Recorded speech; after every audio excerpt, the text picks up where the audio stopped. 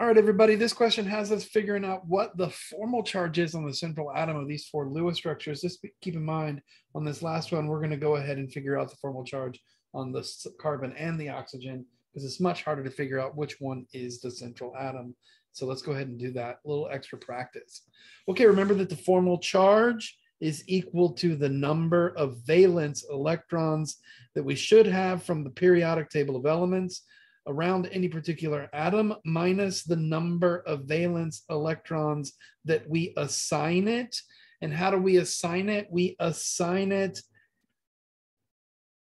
we assign it by uh, evenly. So we're going to go ahead and split each electron in the bond. So for this one, aluminum should have three electrons from the periodic table of element. That's that's because it's in group 13 and we'll split it. We'll do the assignment. We'll split each bond and we'll split the uh, electrons evenly. So I would assign it four. So four minus three is minus one.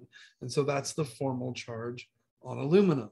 Okay, for oxygen, the formal charge should be uh, the number of valence electrons from the periodic table for oxygen, group 16, that's six, minus the number of valence electrons assigned. Remember, we're going to share the bonds evenly. And of course, lone pairs will get assigned completely to that atom. So it's one, two, three, four, five, six minus five, that's plus one. So the formal charge on that oxygen is plus one.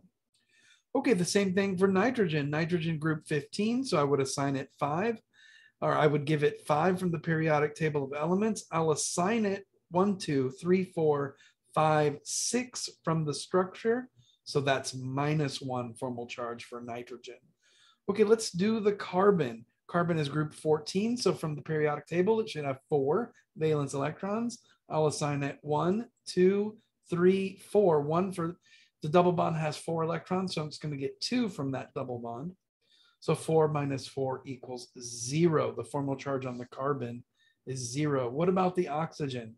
Again, group 16, it's six minus the number I assign, one, two, three, four, five. That's plus one for the oxygen. Okay, we've assigned all the formal charges. Thanks.